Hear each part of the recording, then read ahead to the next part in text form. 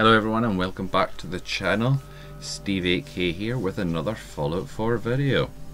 So today I'm going to bring you two builds in one video that are ideally suited to Fallout 76 and Fallout 4.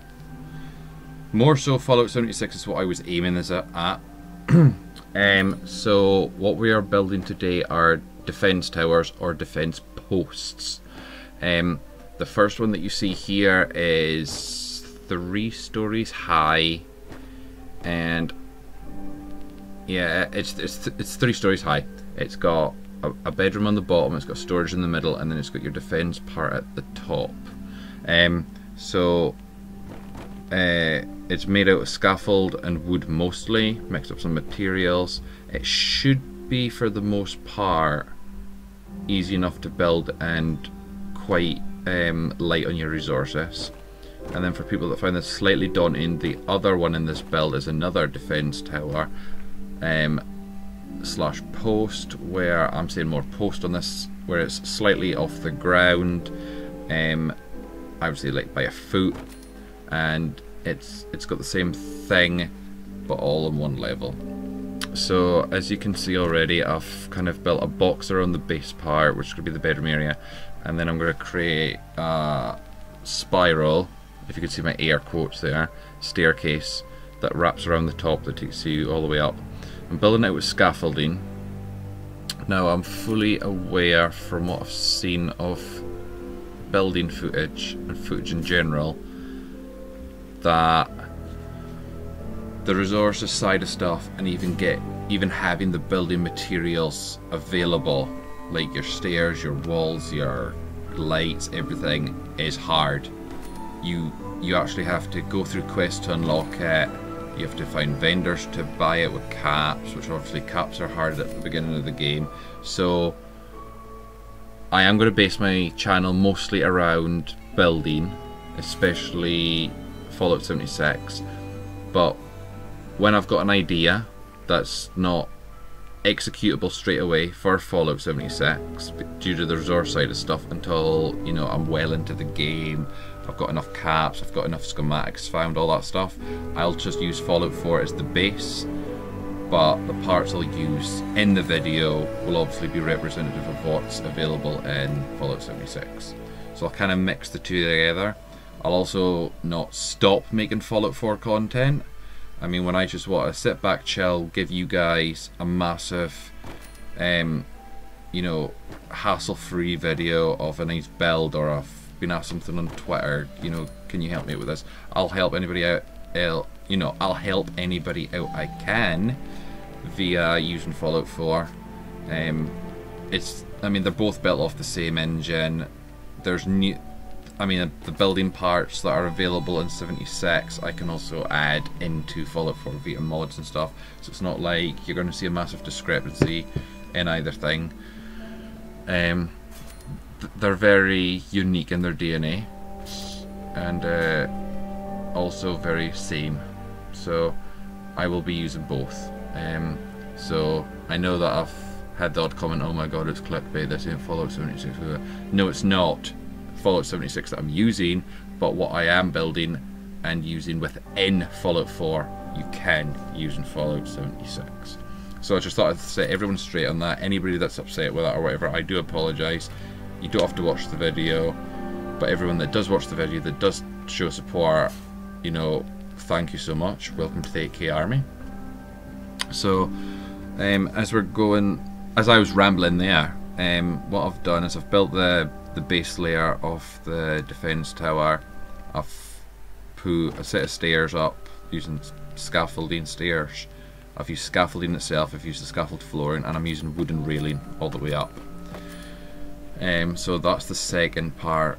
This took me around an hour to an hour and a half to put up. Now that is only because I had to work out what parts I was going to use. I was trying to stick specifically to wood and metal if I could, because I know the early part of um, Fallout 76 is that's the kind of materials you're going to be, you know, stuck with. That's the schematics you may have found or been given.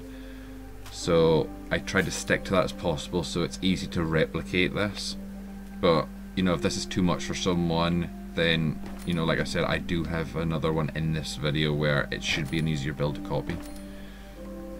So this is the top layer now. Um, I think this is probably the better build of the two personally, just because you get a high elevation, which will be great for any PvP or whatever in Fallout 76. You always have the upper hand. Um, also note that this is just a you know a rough you know this is how I did it type thing whereas you can completely alter it yourself I mean maybe some people find the bed on the bottom bit risky you know maybe someone will come in and PvP them while they're sleeping or something if it's even possible in 76 um, and they want to move it to the midsection that's absolutely fine. They can put it into the mid level no problem. And um, maybe they want the guard tower lower down. That's okay too. Um, maybe they want some of the cooking stations and all that around the outside of the building at the bottom so it's easy access rather than having to climb all the way to the top, which you'll see in the videos where I put it. Um, so yeah, the, this these buildings are really easy to all alter, change, and flick around. Um, I also for the same reasons of having low resources in Fallout 76 when you start, I've used a three powered generator with the the conduit that's on the on a on a stick. I can't remember what they call it. Pylon, small pylon, I think. Um, so I think the resources are pretty much the same, you know, in both games. So everything I've built should be super easy to replicate. Um, so yeah, I'm just placing the stairs in now. Weirdly enough, this build is actually just coming up to a finish. And then we'll take you the tour of this one and then we'll go to the next one. I mean, I ideally I wanted to use wooden stairs, but I couldn't find ones long enough. Hopefully Fallout 76 has wooden stairs so you can just switch the metal for the wood. but yeah, here we go. I'm just looking around now. Yeah, I, I switched the stairs at the bottom because they, they're really narrow. Although I was trying to save space, I kept falling off the edge because there's a little gap where you can't place a railing at the top of the platform, so I switched it. So here we go. Um, as you can see that's the, the whole tower done so here's the bottom level with the bed and some of your brickbat where you can just quickly walk in you can have a sleep and then you can leave and go amongst the West Virginian countryside again quick and easy first so we'll go up to the next level first floor open the door and and here we have all our storage stuff so you know you could put your um, your stash trunk in here. I've also put a little workbench in there. I mean, this is a one tile, or um, the, the four small ones wide and long, so you know, guard tower. You can have all your guns scattered around. Little cooking station, a little set around where you can play your music and all that. So really easy, really nice, and effective. So I'm just showing you the kind of space you've got kind of view you could end up with. I mean, the views will be the same, if not better, obviously, because you have more countryside, less, um, less nuclear. So we'll go over to our cooking station now. As you can see, plenty of space, works like a dream. So yeah, here I am, just making a few bits. And then we will go on to the next one. Yep, there's that view once again. And I will take you down to the bottom of this now and we will go right round it so you can see the kind of it's not very big at all either. It's like I said, it's it's for the small wooden tiles or it's one of the big ones wide and long. Three high and then you've got a little bit of scaffolding sticking out. I mean the scaffolding could be narrower. You know, you could have one wide the whole way around. But I want a platform on top so I just made it too wide. So you know it doesn't take up much space at all. It's absolutely perfect. Should fit in nicely. Now here's the second one. Now I thought about initially dunking it straight on the ground and you know just putting all the stuff around it but then I then I um, thought and remember reading or watching someone say that mattresses placed on the ground in Fallout 76 have give you a higher chance of getting disease. And I thought, for this build, we'll we'll combat that slightly. We'll have a little bit of scaffolding. I mean, you could use anything. You could I mean, I don't know what other kind of foundations that they have. You could, you know, you could use a concrete foundation. There you go, or you can use the wooden one with the the wooden struts and all that underneath it. Raise it like by a foot, so it's just off the ground, and there you go. You've got a little bit of a home defense area off the ground. Should risk your chance of not getting diseases. Hopefully, uh, what they mean. I'm hoping. It, they don't mean that the moment you slap a mattress on a hard surface, whether it's touching the physical ground or not, would affect you. But I thought I'd kind of try and combat that by making this guard post slightly off the ground. So as you can see, technically that should have snapped in place. And I'm pretty sure I've seen a video of in Fallout 76 where that guard post does snap onto the floor, but for some reason I couldn't get it to snap, so I've left a little gap and just put a plank in the way. So this is the first version, there's two versions of this I'm going to show you. So this is the first version where there's a couple of warehouse floors on the outside, you can put bed, couch, your storage trunk, a little table with a lamp on it, and there you go. And then you've got your little guard post at the front where you can stand and look out and whatever. Um, you could also just put a couple seats around for your your musical needs, playing your banjo and stuff. Um, there's also the the accessibility to this small post um, that you can put your cooking station and maybe even an armor workbench or whatever on the outside of the building. So it's still close to you, it's still well defended, but you've still got a little bit of extra room to work around. So yeah, here we go. I'm going to scrap all this now.